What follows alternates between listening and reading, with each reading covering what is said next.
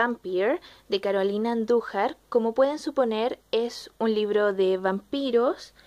Eh, no he leído nada de sinopsis, reseñas o algo por el estilo.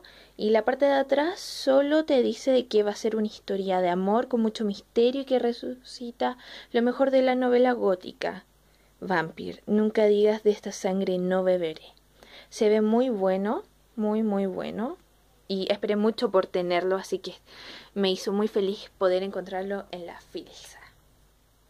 Acá, El Mexicano, es una novela ilustrada de Edu Molina y no sé, ilustrada por Edu Molina y los textos son de Jack London. Lo compré en editorial Zigzag y era para que me hicieran el descuento de la entrada, pero el señor de la caja me dijo que era un libro muy lindo y que valía la pena llevarlo. De todas formas, igual lo leeré. Salió gratis el libro. Así que, y las ilustraciones están geniales. Me encantan las ilustraciones porque el dibujo es uno de mis fuertes, así que me es una de las cosas que más me gustan las novelas ilustradas. No sé de qué se trata, nada, nada, nada, así que ahí lo leeré y quizás igual hago una reseña. Al lado del libro El mexicano tengo Palabras rotas de Karen Slaughter. Ni siquiera lo he sacado de su envoltorio. Es una novela policial, quizás pueda ser una novela negra, no sé. Tengo que seguir buscando más información. Y trata sobre que el cuerpo de una chica aparece flotando en las aguas del río Grant o del lago Grant.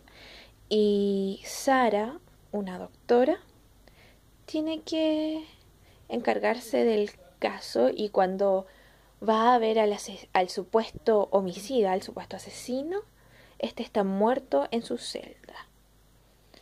También lo quería leer hace mucho tiempo, lo había visto en la filsa pasada, pero no había tenido la oportunidad de comprarlo, así que ahora lo traje sin pensarlo. Bueno, el siguiente libro que les voy a mostrar es El perro diabólico de la saga Pax. Es un libro que tiene algunas ilustraciones.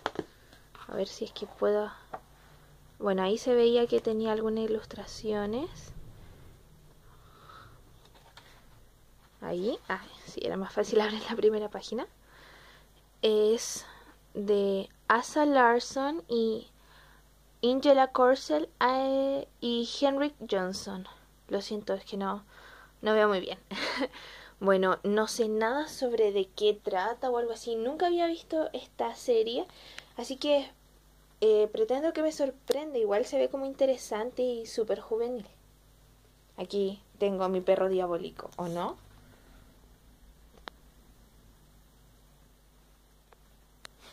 Lo siento, Flo, por hacerte grabar estos videos. El siguiente libro es Lois McMaster. No sé cómo se pronuncia el otro apellido, es muy sofisticado para mí es el vínculo del cuchillo, eh, la primera parte, encantamiento. Es sobre, por lo que dice la parte de atrás, sobre una chica embarazada que huye de su comunidad de granjeros hacia en busca del anonimato de la ciudad y ahí se va a encontrar con Dag. El bueno, va a haber obviamente todo un mundo de magia y ellos tendrán que enfrentarse a un romance imposible, tendrán que pelear y ya lo puse en la recomendación, es un libro ilustrado sobre el cuento El retrato Val de Edgar Allan Poe, muy recomendable, las ilustraciones son muy lindas, también lo adquirí en editorial Zigzag.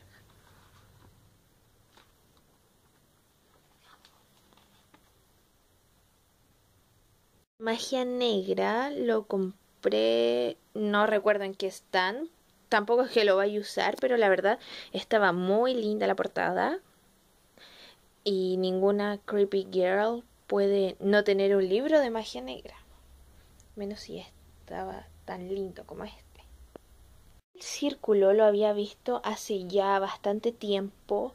No podía encontrarlo ni siquiera en las librerías. Recién llegó. Y en este caso es. Lo adquirí en el stand de Amalgama Store. En la Filsa. Y de verdad muchas gracias porque estaba muy ansiosa por comprarlo. Eh, no dice mucho la parte de atrás, es solo que las elegidas deben eh, salvar al mundo, dominar sus poderes y que el tiempo corre en su contra y si no descubren lo que las persigue morirán. Es muy simple lo que dice atrás, pero yo creo que esconde una gran historia.